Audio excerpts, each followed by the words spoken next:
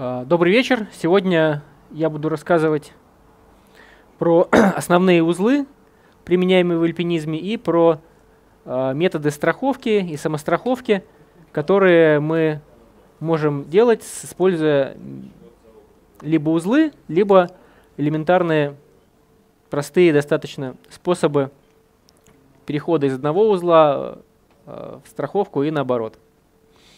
Для начала самое основное, покажем, какими узлами мы привязываемся к веревке, потому что веревка это наш основной элемент безопасности, который у нас э, существует в процессе нахождения в горах во время восхождения.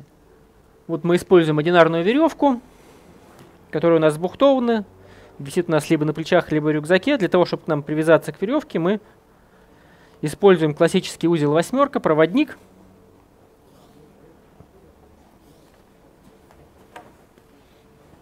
И для того, чтобы нам понимать, сколько веревки нам необходимо для того, чтобы привязаться, существует универсальный способ. Мы берем э, веревку таким образом, чтобы конец веревки был от наших ботинок до верхнего кольца системы страховочной. И, соответственно, с этого места начинаем вязать фигуру под названием восьмерка,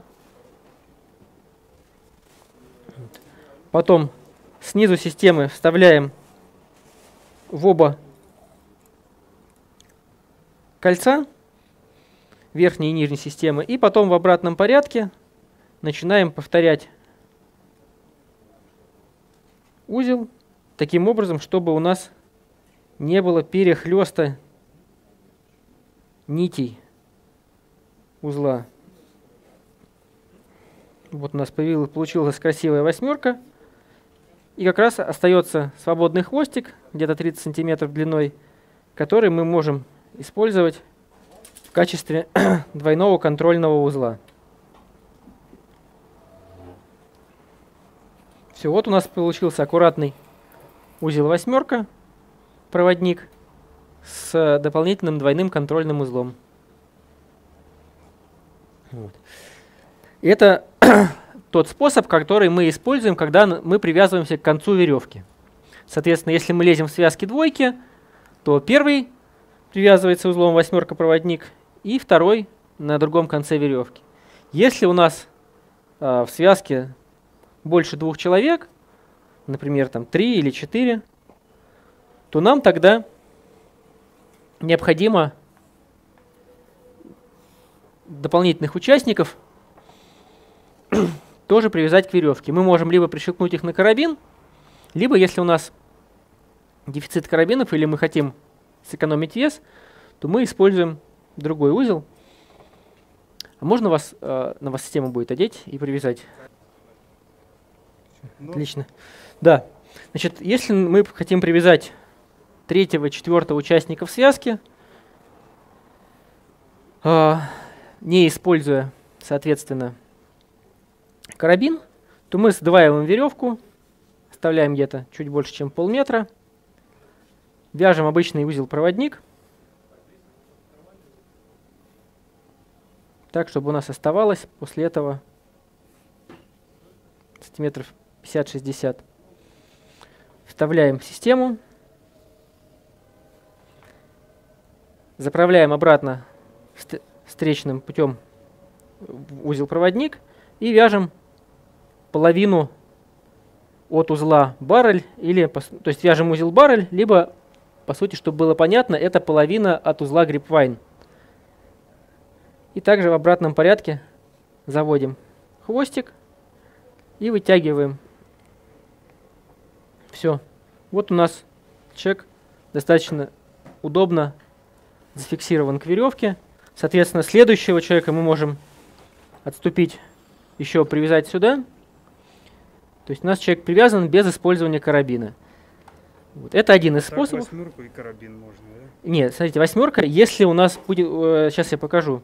То есть если мы вдвоем и идем на всю веревку, то тогда мы, конечно, будем использовать либо восьмерку, либо булень. Угу. Ну, можно карабин и восьмерку. И все, можно, да.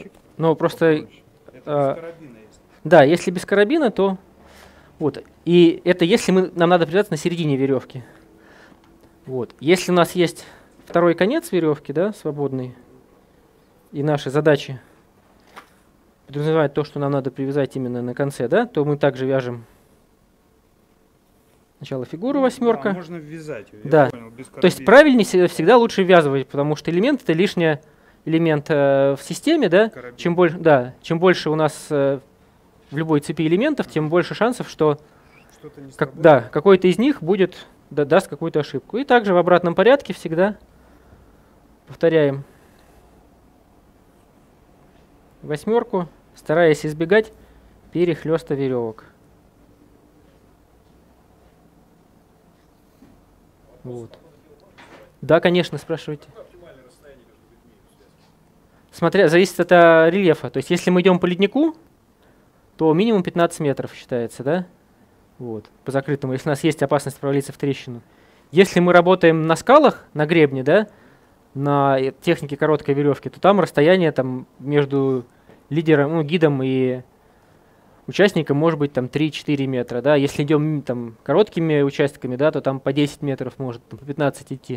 То есть все, то есть есть четкие правила работы на леднике, это там 15 метров, да, вот. А в зависимости от рельефа там скалы это, да, либо лед, э, там уже регулируем расстояние в зависимости от сложности. То есть если нам надо пролезть какую-то стенку, один человек внизу стоит, страхует, вы можете вылезти хоть на все 50, там, или на 10, на 20. Да, если у нас простой гребень, где необходимо обеспечивать страховку за рельеф, да, то там можем идти там, на расстоянии там, 5 метров, например, там, или 3.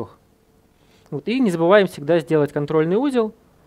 То есть вот делаем два оборота. Пол- полу, да, или как? Ну, это полугриппайн, по сути, да. То есть вот у нас один раз, когда мы делаем, это у нас обычный контрольный узел, да. Ну, можно и такой же. В принципе, восьмерка вообще не требует. Да, я знаю, да. не- не- не Ну, требует. просто для красоты, чтобы не болталось. Ставили. Вот. И затянули. Вот у нас восьмерка проводник. То есть сразу говорим, да, что это узел проводник. То есть у нас есть обычный узел, обычный узел проводник, когда это половина восьмерки, по сути, и восьмерка проводник. То есть мы сейчас посмотрели один из способов привязывания к концу веревки. Также у нас есть еще один узел, которым мы можем привязаться к веревке. Да? Он используется, как правило, больше в скалолазании. Он немного сложнее, но у него есть один из плюсов, то, что при рывке он не затягивается. Это двойной булинь.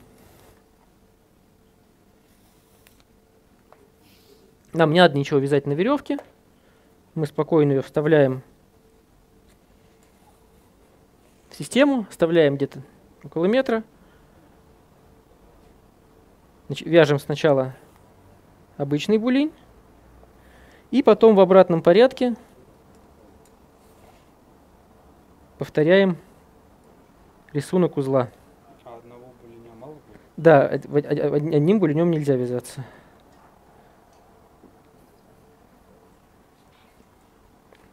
Все.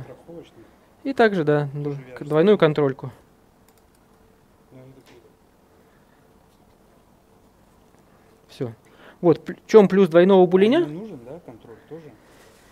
Нет, в принципе не обязателен. А, плюс просто в чем, что а, двойной булинь, а, он, а, ты можешь использовать данный узел как силовое кольцо дополнительное, да? То есть основной плюс двойного булиня от, э, от одинарного в том, что а, в одинарном нельзя щелкиваться, грузить нитки, да, то есть в одну, в, в одну нить можно, Вытащить, Да, он может, э, э, не будет держать. А тут мы можем в оба направления, можем щелкнуть а, там карабин, восьмерку, еще что-то, да. Ну и, соответственно, если, на, как правило, булинь это узел, используемый для привязывания веревки к чему-то, к дереву, к, там, к крюку, к точке какой-то, да, там, камню. И двойной булинь позволяет использовать э, данный узел как станцию, по сути. Вот.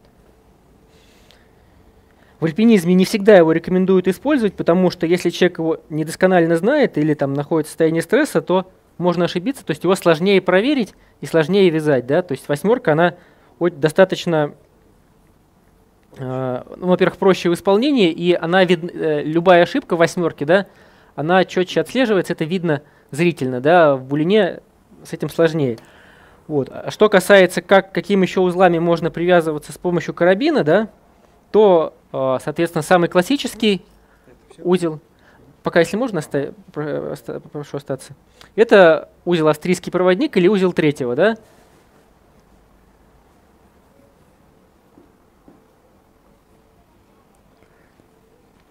Вот.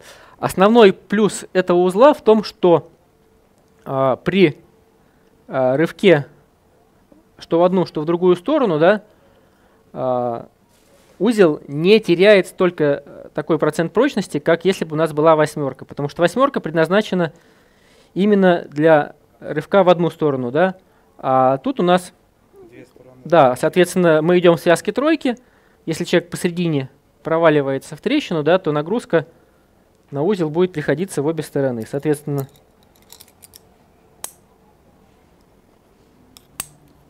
мы обязательно щелкаем человека на муфтованный карабин. И. Да. И, соответственно, перед... этот узел используется для передвижения, как правило, по леднику. Вот. Ну, можно и на скалах, да, если у нас там два человека идут на конце веревки. Не, почему? Вот всегда в центральную коле- систему, только а больше некуда, да. И задний, да, веревка сбоку обходит, и задний там тоже цепляется спереди. А, если у нас несколько человек, чтобы не цеплять, мы тогда можем веревку, чтобы она не цеплялась за колено, да, Да, да. пришелкнуть через карабинчик какой-нибудь А, ну, систему, да, вот, то есть это будет исключительно для удобства. Но надо понять, что в случае срыва у нас эта штучка порвется, и все остальное, что на этом кольце находится, оно может потеряться.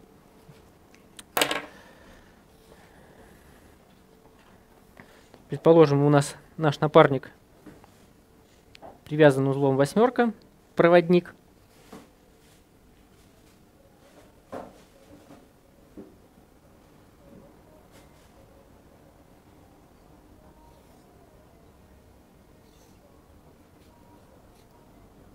Да, это визуально все понятно.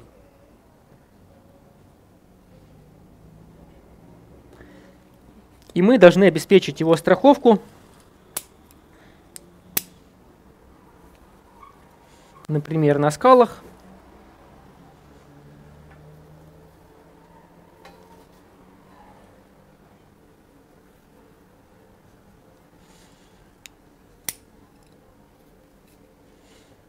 Вот у нас есть карабин. Можно лучше использовать даже какой-нибудь побольше для наглядности.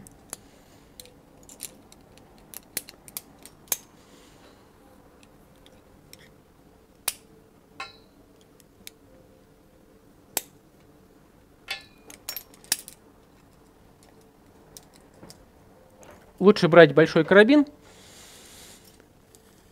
И сам до- достаточно быстро мы можем страховать через э, узел УЭА, да? То есть вот делаем один оборот на веревке, следующее кольцо кладем в противоход. Не забываем замуфтовывать карабин. И выбираем. Вот, все, подходите.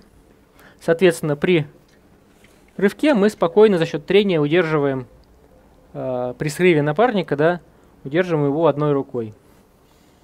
А Всё. на таком узле спускаться можно, да? Да, э, соответственно, также мы можем э, нагрузить, нагрузить, нагрузить веревку, да, выдавать для спуска, то есть если нам надо спустить, Сюда да, парашютиком, да. спускаешь. Но если он на тебе узел, да, то ты можешь на нем дельфирять. Вот так, да? Да, ну так просто веревка будет, так ты можешь просто здесь завязать этот узел Да. На системе, да, и дюльферять на нем, спускаться вниз. Соответственно, у нас, у нас напарник подходит к нам, и нам надо его э, каким-то образом зафиксировать на станции, а самостраховки у него специально нету. И чтобы нам не терять в данный момент его страховку, да, мы переводим веревку в направление вниз, как будто он у нас собирается спускаться. Держим одной рукой жестко веревку, размуфтовываем карабин и одну из нитей ставим на сбрасывание половины узла. Делаем один оборот на веревке вовнутрь, щелкиваем, замуфтовываем карабин. Все, у нас получился узел стремя. То есть наш напарник пристрахован к станции, к мастер-карабину на узле стремя. После этого он может обеспечить страховку мне, я могу пролезть дальше, сделать следующую станцию и таким же образом, обеспечивая его страховку, принять его на следующем участке. А, типа если этот внизу, да, залезть. Да, ну то есть вот мы стоим на станции. Вот посмотри, у нас такая полочка, дальше пропасть. А, даже если ты себя уверенно чувствуешь, сверху может прилететь камень, там какие-нибудь орлы сбросить, да, еще что-то. У меня может камень из-под ноги вывалиться, да. Если у тебя прилетает камень, ты без страховки падаешь вниз, да. Вот. Ну, то есть а, основное правило альпинизма это непрерывность страховки. Ни на одном из этапов у нас не должно быть а, ее потери, да. То есть если мы можем ее дублировать, это оптимально, но всегда у нас человек, он стоит на самостраховке. Как только мы обеспечили ему верхнюю страховку, только после этого человек может выщелкнуть свою самостраховку из мастер-карабина. Все, спасибо большое. Да? Да, связывайте.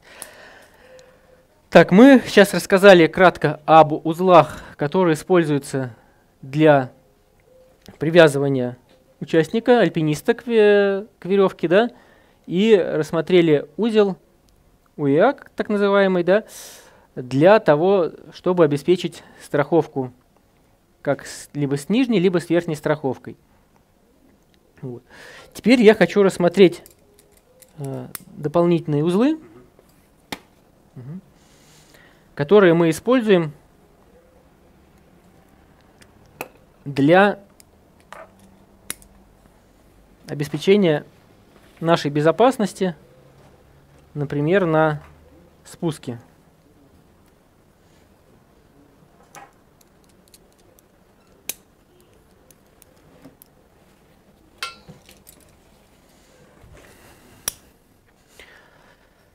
А, Например, мы спускаемся по веревке методом дюльфера с помощью спускового устройства и делаем себе самостраховку, например, из страховочной петли.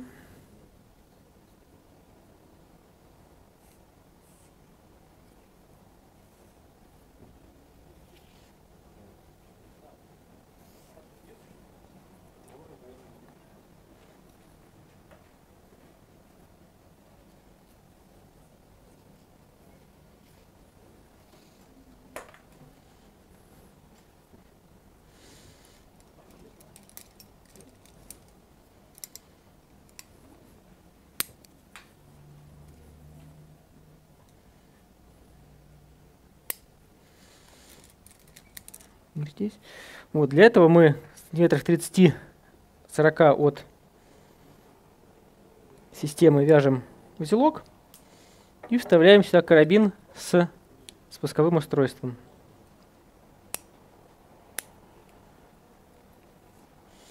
Вставляем таким образом, чтобы прорезь для выхода веревки у нас всегда была снизу.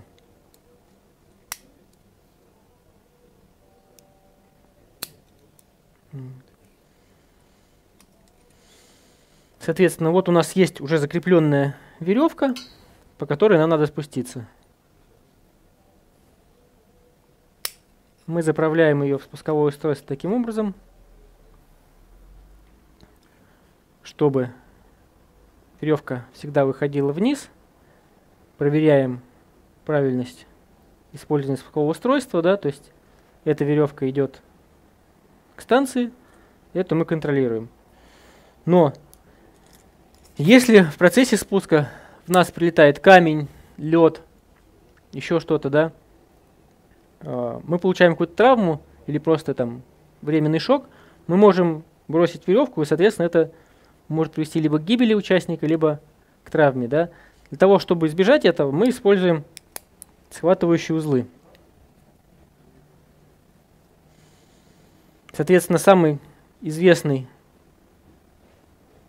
это узел прусика, схватывающий. Он бывает либо двойной, либо тройной. Соответственно, мы делаем, если делаем двойной, то делаем два оборота вокруг веревки. Расправляем его.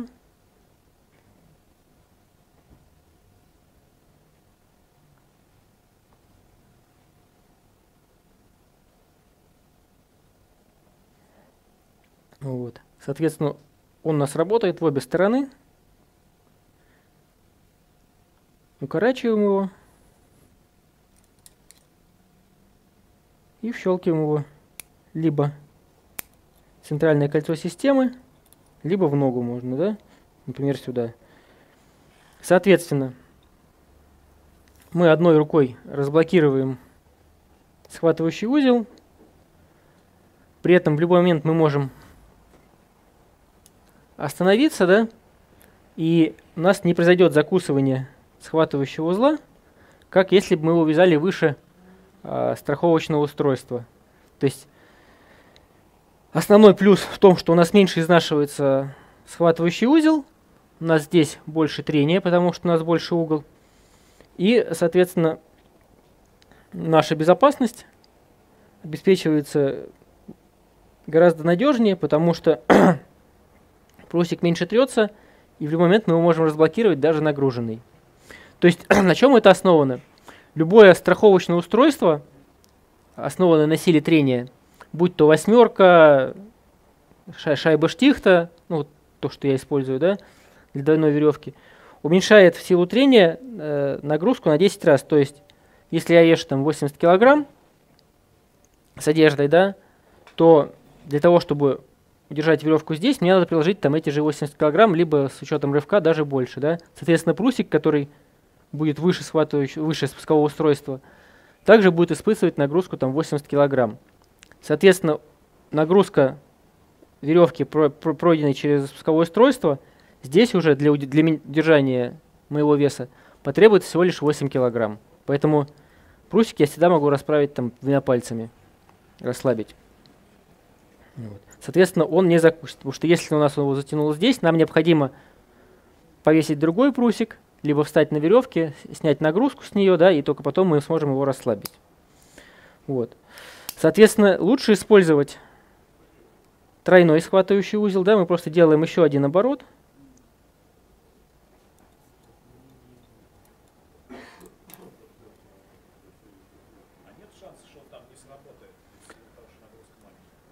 А, ну,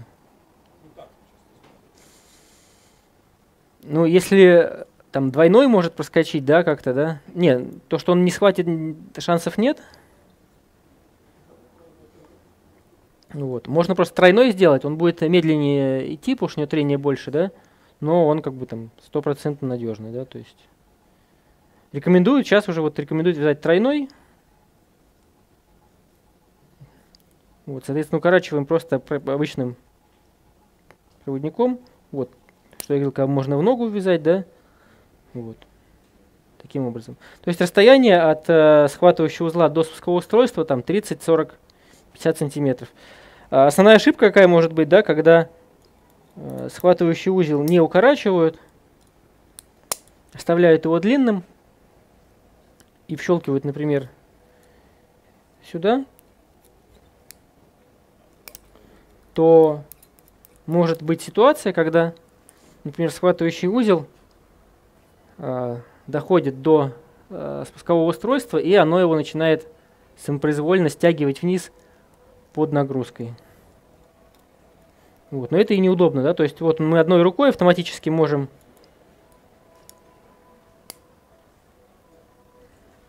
разблокировать схватывающий узел и этой же рукой осуществлять контроль веревки на спуске. То есть вот мы спускаемся, да, и я одной рукой выдаю и прусик, и контролирую веревку. Вот, соответственно, левая рука, либо правая у нас, то есть мы можем либо под левую руку, либо под правую использовать. То есть мы в любой момент могли, можем остановиться, надо там сфотографировать что-то, либо еще что-то сделать, да, все там достать какое-то снаряжение и дальше продолжить спуск. Либо...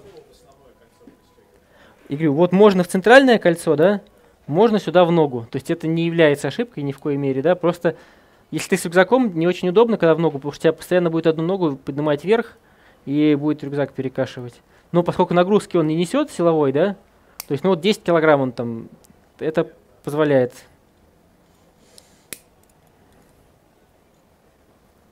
Вот.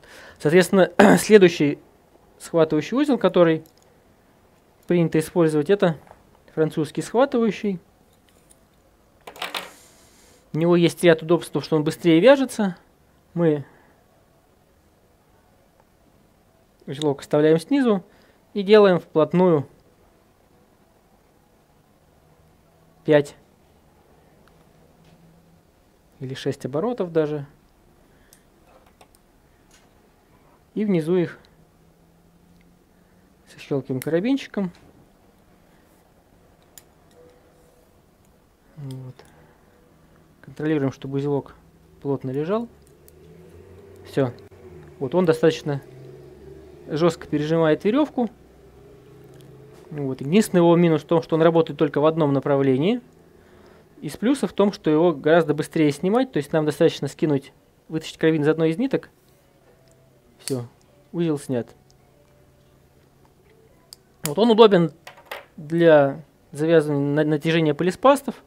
Также можно использовать на дюльфере его на спуске. Ну, есть еще узел, который используется с карабином, да, но основной это Я когда как, когда, когда так, когда так использую. Просто э, прусик при большой нагрузке он затягивается. Вот. А французский его в любой момент можно расслабить. Вот. Ну, то есть вот э, там по два узла, соответственно, там надо там, для знать два узла для привязывания к веревке, два узла для прищелкивания там промежуточного участника, да, и там два схватывающих узла для спуска, либо еще для чего-то, да. Вот, теперь еще хочу показать узел, который мы будем использовать либо для связывания двух веревок. Здесь, например, две веревки одинаковой толщины приблизительно. Ну, она может немного различаться, да, но не должно быть так, что там одна веревка там 10 мм, другая там 7, да, для связывания двух веревок э, одного типа, да, то есть у нас веревки бывают, соответственно, трех э, назначений, ну или трех типов, как они маркируются, да. Три типа маркировки. Это э, веревка с обозначением единичка, э, веревка с обозначением одна вторая через э, черточку и сдвоенная веревка. Основные отличия в том, что сдвоенная веревка в каждую промежуточную точку должны прощелкиваться обе нитки веревки. А, половинка одна, вторая прощелкивается попеременно. То есть в одну точку мы прощелкнули одну половинку веревки, в следующую другую. И так в шахматном порядке, например, либо там две в одну, две в другую. Их технические особенности позволяют, их характеристики позволяют выдерживать срыв, если там часть, большую часть нагрузки гасит одна из половинок веревки. И э, веревка с маркировкой 1 это так называемая единичка, которая допускает использование одной веревки на маршруте. То есть она держит там, срыв человека весом там, 80 килограмм с фактором 2 определенное количество раз. Например, нам надо удлинить веревку или соединить две веревки для того, чтобы потом их продернуть. Соответственно, мы отступаем там, 40 сантиметров, вяжем простой узел проводник,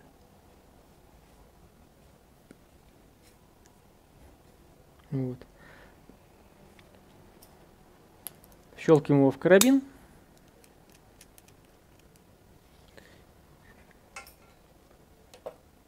И дальше по двойной веревке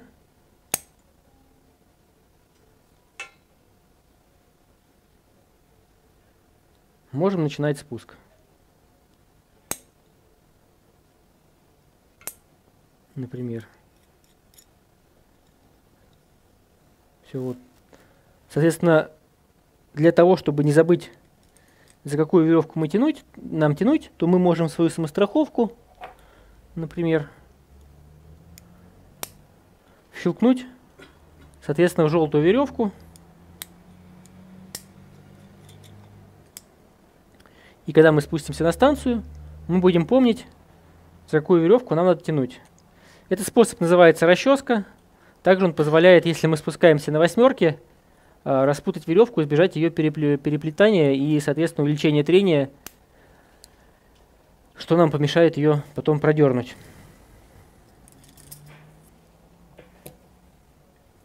Вот. Также это, этим способом удобно пользоваться, если нам надо на при спуске, например,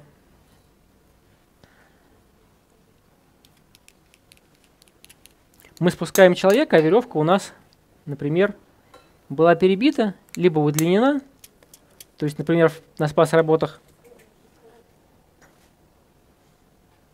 вот у нас, например, можете потянуть аккуратненько? Например, да, вот в ту сторону у нас идет пострадавший, вот мы выбираем, выдаем, выдаем ему веревку и подходим к узлу. Чтобы нам не делать полиспаст, не снимать эту точку и потом делать другую, да, то у такого узла есть один большой плюс. То есть мы можем за эти концы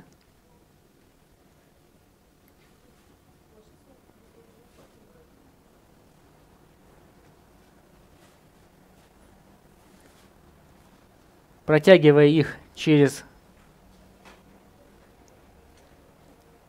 карабин,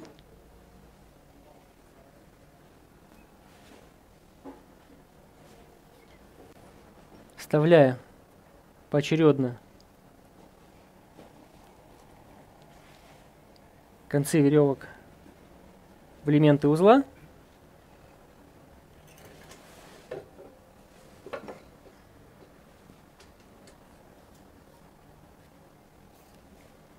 Вот.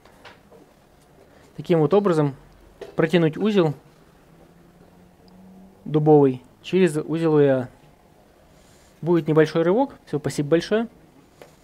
Но это позволит нам сэкономить время и не потеряв безопасности.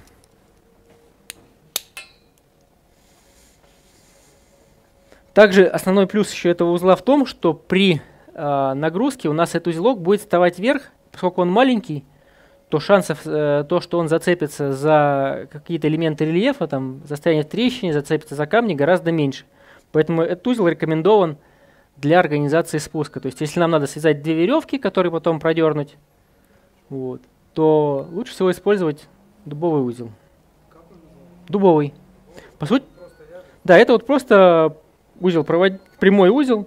То есть, если мы будем делать его на одной веревке, это вот один оборот.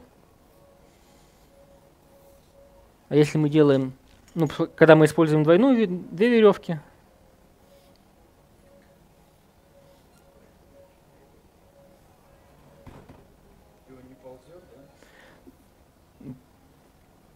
он ползет там при нагрузке уже около тонны. Все равно он будет, да, он будет работать на разрыв, по сути, потому что все равно же одна веревка вставлена вверх. Вот. Для спуска этого более чем достаточно. Вот. А если надо соединить две веревки, например, да, то тогда лучше использовать, соответственно, узел gripvine, когда мы берем да, делаем по два оборота и третий оборот заводим навстречу.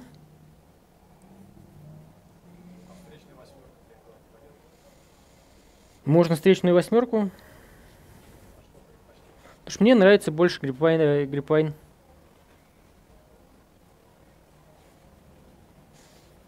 Все, вот у нас соединены две веревки. Можно контрольку завязать, но в целом... А как вот этот контроль? Как? Просто контроль, контрольный узел. Ну, то есть вот у нас, если один оборот, это одинарный контрольный узел. Если делаем два оборота, то это двойной контрольный. Или, по сути, полугрипвайн или баррель. То есть узел бочка.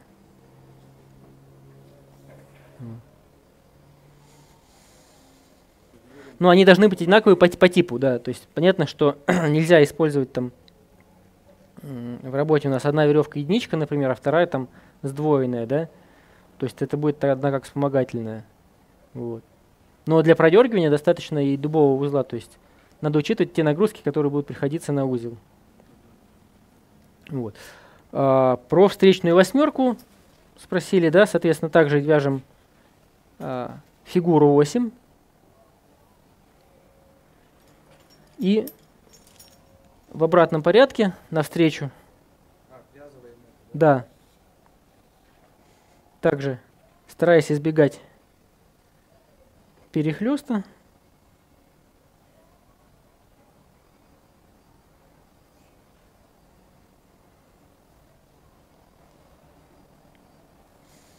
Вот у нас получился узел встречная восьмерка.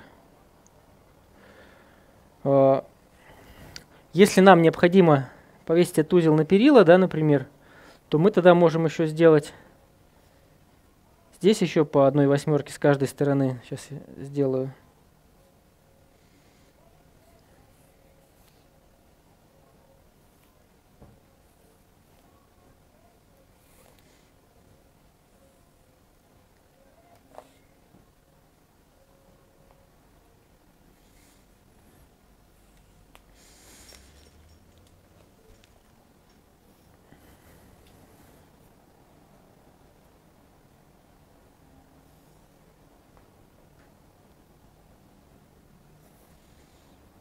То есть мы здесь делаем, отступаем по метру с каждой стороны.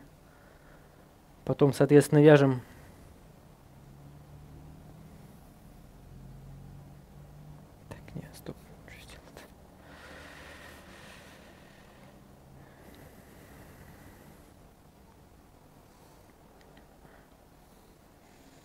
Вяжем встречную восьмерку.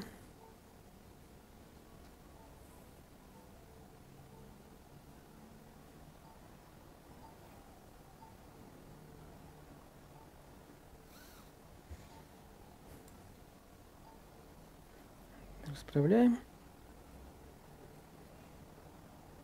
Так, нет, секундочку.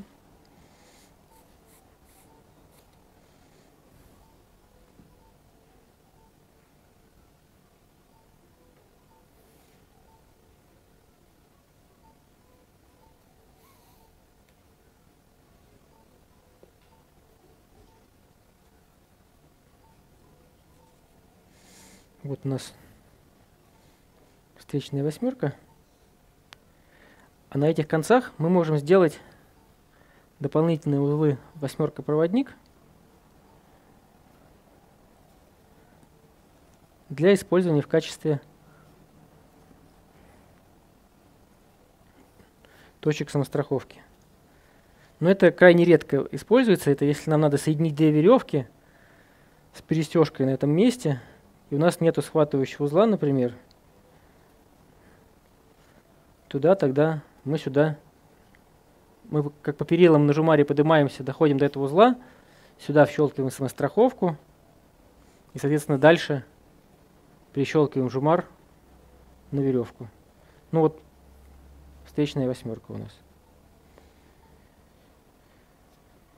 Но, как правило, если у нас с собой всегда должен быть схватывающий узел, и не один, а три, ну не схватывающий, а репшнур для схватывающего узла, два коротких, один длинный, то это все делается с помощью страховки на схватывающем узле при переходе через э, узел. А, еще хотел сказать, что э, если, например, у нас на веревке есть какое-то повреждение, полетел камень, да, то узел австрийский проводник оптимально использовать для того, чтобы этот, например, место, это место, где перебита веревка, сейчас я даже покажу, у меня была тут веревочка старенькая, перепиленная бензопилой.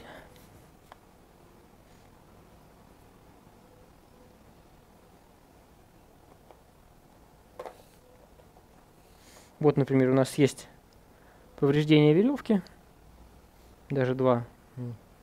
Понятно, что использовать ее нельзя, поэтому мы оставляем эту часть в петле узла. После этого делаем австрийский проводник.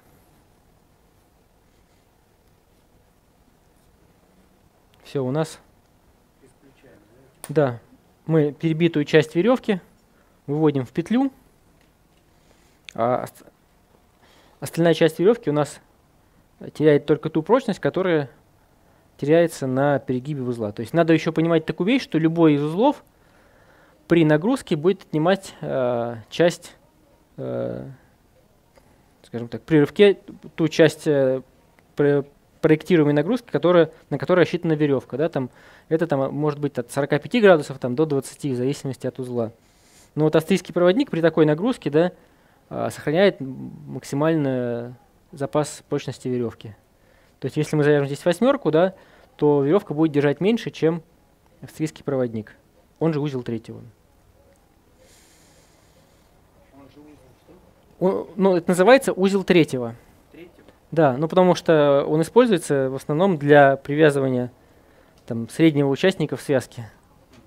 Вот. Еще хотел рассказать вообще, как э, произошли все эти узлы и почему они называются проводниками. Да?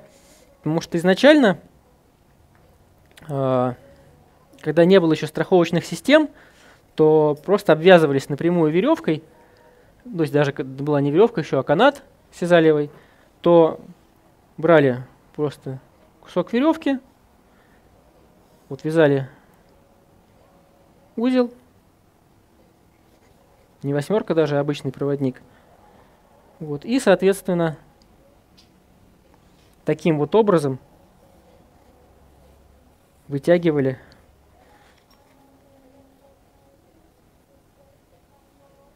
веревку. И вот у нас получалось какое-то подобие страховки для хождения по ледникам. То есть вот на заре альпинизма, там 200 лет назад там, или 150, когда не было еще страховочных систем, то страховка осуществлялась таким вот образом. Собственно говоря, поскольку этим занимались проводники, то и, соответственно, узел – стал называться проводник. Соответственно, если мы сделаем, когда все это стало развиваться дальше, да, то узел с, еще одним дополнительным оборотом стал называться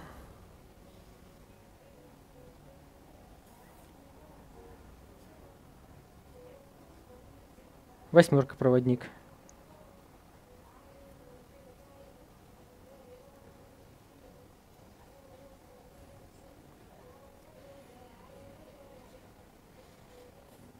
Вот. Естественно, мы также его одевали и утягивали.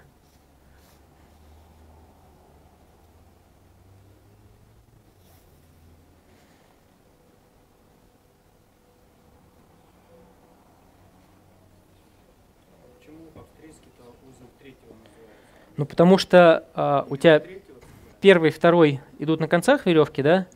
А третий участник, если появлялся, его вщелкивали, например, в середину веревки.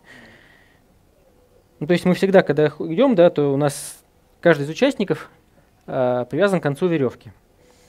И сейчас я покажу, что мы можем сделать, если у нас, например, есть запас веревки, нам он не нужен в данный момент.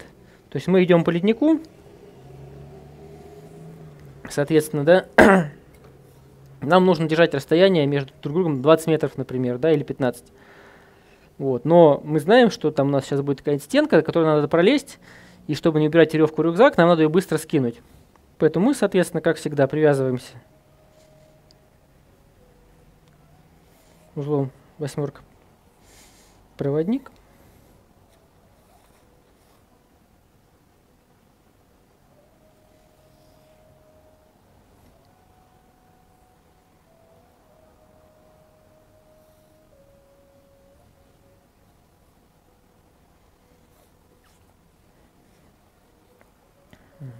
Сделали контрольчику.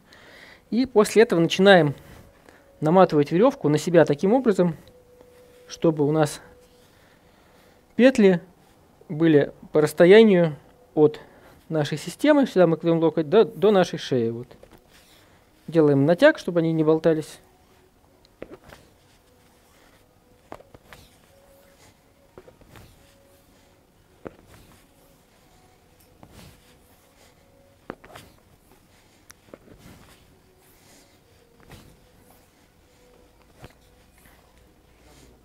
Ну вот, положим, мы спухтовали половину веревки. Вот. После этого вставляем сдвоенную веревку в центральное кольцо и в наш узел. Заводим примерно около метра веревки сюда. Делаем, например, один или два оборота. Вот. Закидываем веревку на плечо, а на основной веревке вяжем, соответственно, то, что мы называли узел полугриппайн или баррель, да? Лучше даже чуть побольше веревочки использовать. Вот так вот.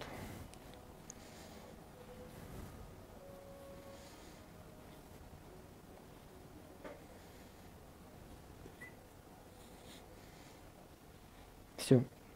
Вот, мы зафиксированы. Этот хвост, конец можно использовать.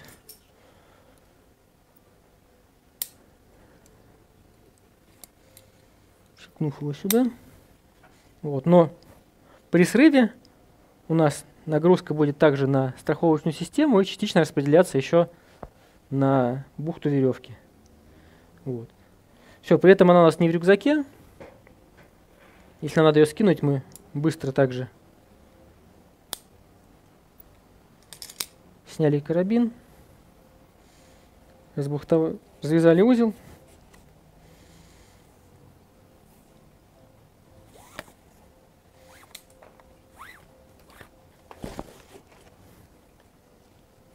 Все, скинули веревку и продолжили работу с ней. То есть нам не надо снимать рюкзак, доставать веревку, перебухтовывать. Вот, причем мы можем идти в рюкзаке, веревка будет сверху рюкзака где-то. То есть, если мы знаем, что надо сейчас перейти ледник, там 200 метров, да, 300, дальше опять лезть по скалам, или сейчас пройти там по простым скалам на, коротком, на короткой веревке, дальше пролезть там сколько-то участков, то для экономии времени и удобства, да, можно делать таким образом.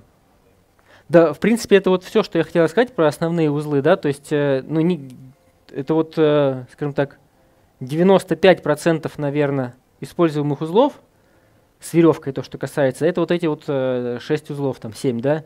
Ну, плюс еще для, э, как вспомогательный узел, мы используем узел стремя. Как мы его вяжем, да? Берем веревку,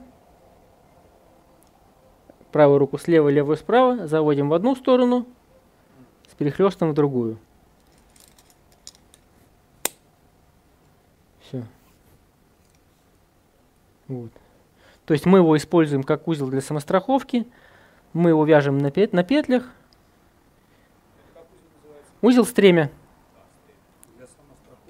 Да, ну то есть вот когда я... Нет, он не ползет, он фиксирует. Да, то есть когда я вот показывал э, способ э, обеспечения страховки, перевод э, То есть, когда я страховал вас через узел УЯ, вот, после этого я переводил узел УЯ, да, без потери страховки.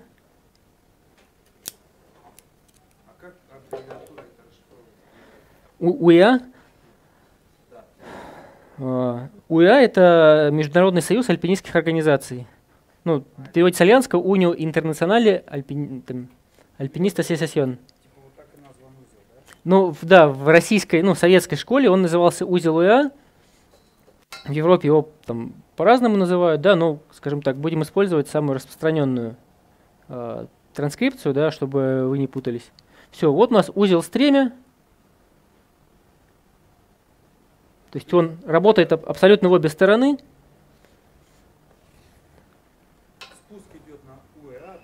А, страховка, либо спуск. То есть если у нас нет страховочного устройства, мы можем а, обеспечить либо страховку, либо спуск через узел УИА. Вот. Минус в том, что он будет гораздо больше крутить веревку. То есть у нас в конце да, будет больше трения, в конце веревки будут барашки, она может запутаться. Но если у нас мы потеряли спусковое устройство, например, да, и у нас не так много карабинов, чтобы сделать карабинный тормоз, то можем использовать узел УИА. Стремя, да, это узел для привязывания к веревке. То есть он может быть, там можем его взять на конце, если надо что-то поднять, либо пристраховать себя на узле стремя. А, да, когда у нас, например, сейчас я покажу, есть веревка, по которой мы спускаемся.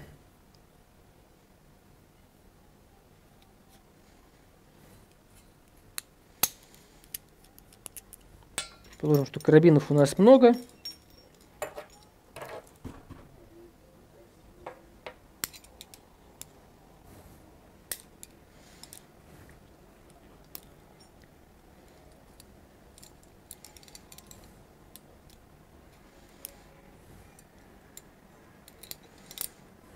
то мы, соответственно,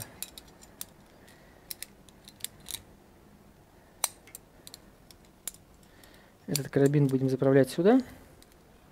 Вот, и таким вот образом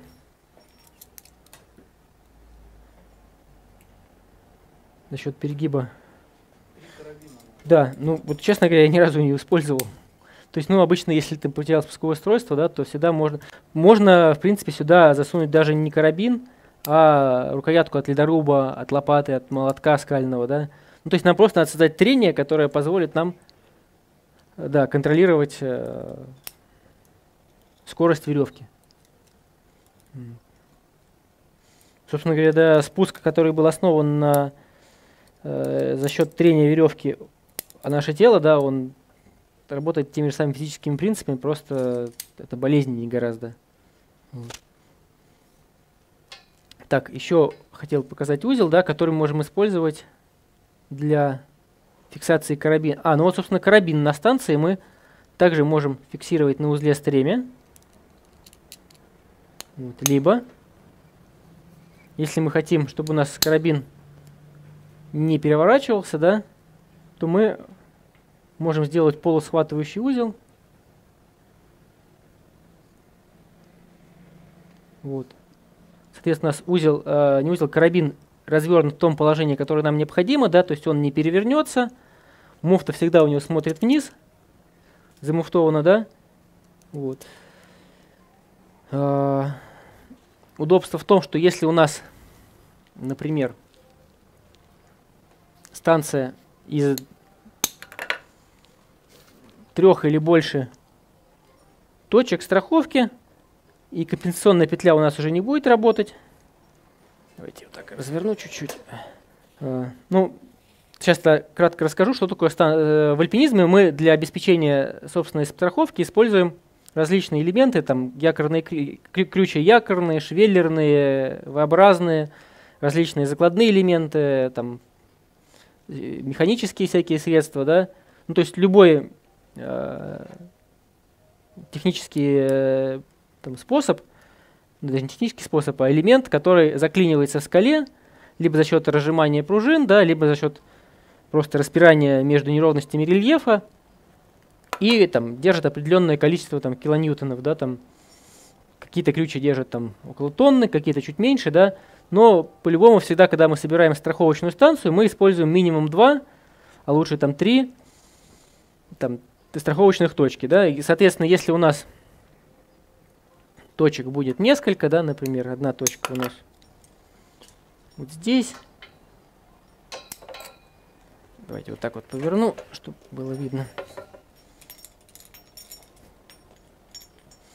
Вторая точка у нас, например, здесь.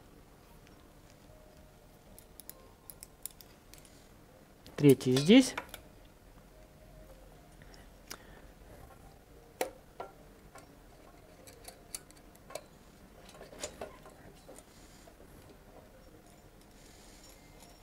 То в каждый источник нам по-хорошему надо щелкнуть по Лучше, конечно, муфтованному, но если нет муфтованных, можно не муфтованный карабин. Ну, для этого хорошо идут маленькие не муфтованные карабины. И мы выбираем веревку так, чтобы она, чтобы все нити э, нашей базовой петли были выбраны с, одинаковой, с одинаковым натяжением. И после этого можем завязать либо узел восьмерка проводник. Вот. Главное его ровно вытянуть. И сюда повесить мастер-карабин, он же станционный карабин, и встать на самостраховку. Либо, если у нас не хватает, например, петли для завязки а, восьмерки проводник, то мы просто делаем схватывающий узел. Вот, у нас все нити э, стропы натянуты с одинаковым натяжением, то есть у нас не получается так, что какая-то нить больше нагружена, какая-то меньше, да? Вот. Все, и мы зафиксировали карабин в том направлении, которое нам необходимо. Вот. А, какие плюсы у подобной системы? Если у нас, например, при прирывке происходит, например, вырыв одной из точек, да, то у нас не происходит жесткого рывка на остальные точки. Соответственно, не происходит жесткого рывка на человека, который стоит на станции. Еще один большой плюс, что если вдруг случается камнепад, и у нас не просто происходит вырыв точки, а ее происходит разрушение, например, просто камнем перебивает стропу, то у нас не происходит разрушение станции. То есть э, человек, который стоит на станции, он не улетает вниз, он также продолжает висеть на оставшихся точках. Да, минус в том, что при рывке, например, в бок у нас загружены будут точки неравномерно. Например, там только две, там, если вверх, например. Но если у нас точки надежные, и их у нас там больше трех, то или двух, это считается оптимально. То есть вот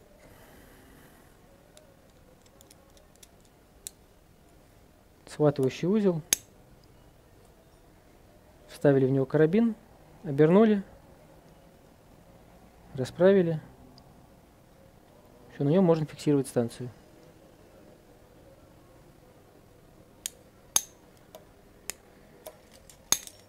Ну, то есть у нас есть два основных узла для привязывания на конце веревки, два узла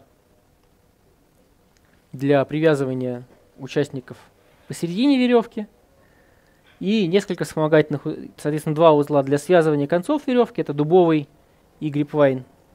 Ну, грипвайн это продолжение ткацкого, то есть если бы у нас был по одному обороту с каждой стороны, это был бы ткацкий узел. Когда мы делаем по два оборота с каждой стороны, это, это вообще стропа, э, петля, да, э, которая использую, которую мы используем для организации э, страховочных станций. То есть она легче, чем веревка. А там в карабине она просто э, да, просто... Обрыв, то да, то, э, ну, в зависимости от того, сколько у нас точек остается, оставшиеся держит.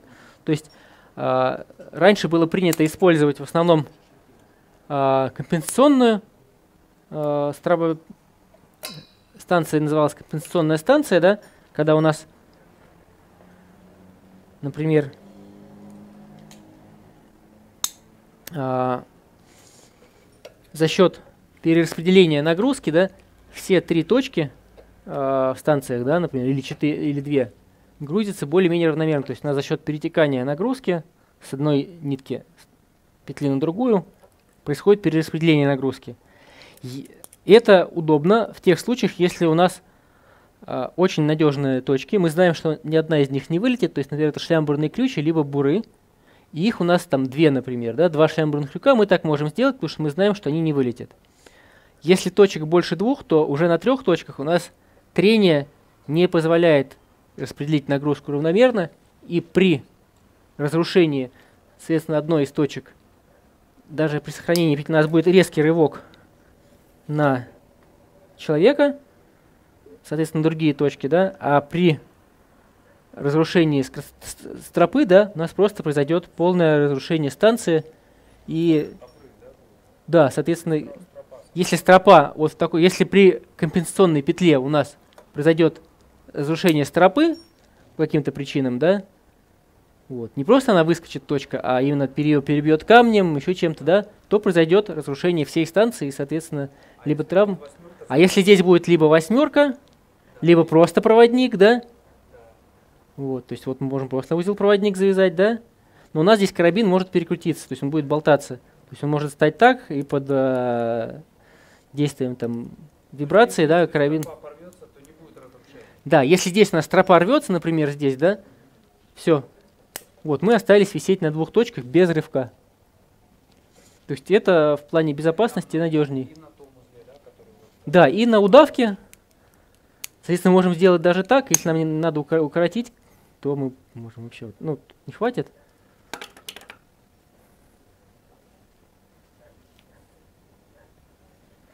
Ну, то есть вот мы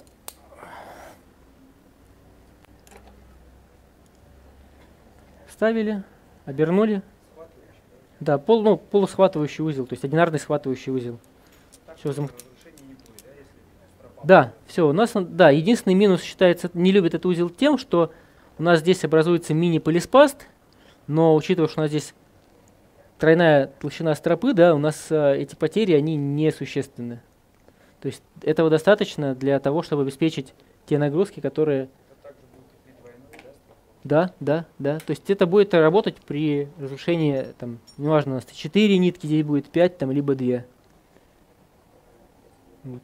Удобство в том, что у нас карабин сразу развернут в том направлении, которое нам нужно, и в ту сторону. То есть удобно нам муфтой вправо, вправо. Хотим там, можно сделать там муфты в другую сторону, да. Все, повернули муфты влево, замуфтовали. И он у нас развернут вниз. Ну вот, наверное, все, что я хотел сказать об основных узлах. Ну, то есть узлов там бесконечное множество, да, но надо понимать, что, как сказал там Брюс Ли, да, что надо бояться не того человека, который по одному разу изучил тысячу приемов, а тот, который изучил один прием на тысячу раз, да.